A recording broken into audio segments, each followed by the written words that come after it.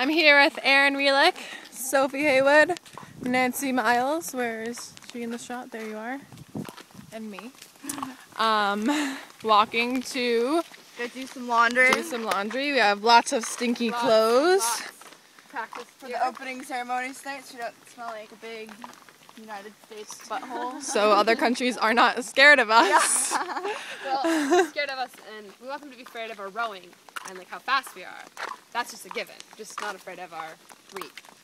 So this is our walk to the laundry place. It's quite nice. Doesn't even look like we're in England. It looks like we're in the Amazon. We just walked across a big field. We made some friends on the bus this morning. Oh, It we made some nice. friends from Denmark and took some pics with them. names are uh, Mike and Fred and Jonathan. John, And then our friend from Holland, who we don't know his name. But Get in the bathroom. we met in the bathroom. Uh, very thick accent. Friends with the South African team as well, Holly, and they asked me if America was like the Jersey Shore. Would you? What was your response? Hell no. And, And, then I told them that no, New York is not the entirety of the United States. And today we uh, saw the Australians again and asked them where they were going. And they said rowing. It was really stood there eventful. It was huge. it was great. Anyways, now we gotta figure out which way we're going. So Um, Say. I say left as well. Go left. left. So we're gonna take a left. The hub that way. Sports center. Yep.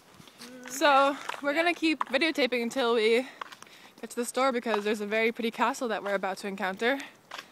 Oh, this is I the right it. way. We correct, Erin.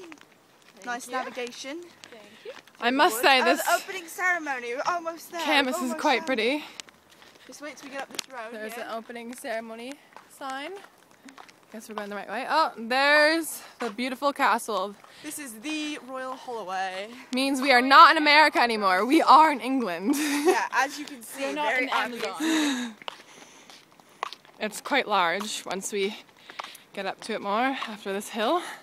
Oh. Second workout of the day. Mm-hmm. We did some starts this morning.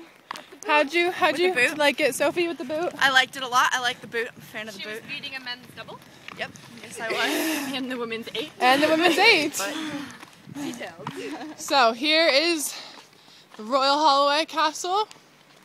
It's quite large, as you can see. Very nice architecture.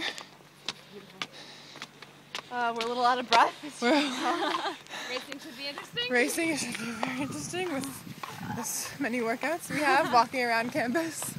But we're gonna rest for the rest of the day and take it easy, drink some water, and be ready to go tomorrow.